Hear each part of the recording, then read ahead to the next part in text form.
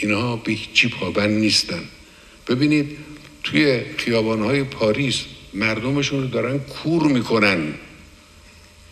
مردم تظاهر کننده ای که تو خیابانهای پاریس دارن حرکت می‌کنن به وسیله نیروهای مسلح دولت فرانسه مورد تهاجم قرار می‌گیرن بسیاری کور میشن. یعنی اینجور با مردم مردم به خودشون رفتار می‌کنن.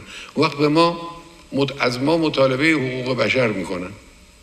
شما چه کاره اید که با حقوق بشر چه نسبتی دارید شما؟ که از یک کشور دیگه از یک ملت دیگه مطالبه حقوق بشر کنید. شما اصلا می‌شناسید حقوق بشر رو؟ نه امروز می‌شناسن نه در گذشته میشناختن نه در تاریخشون میشناختن.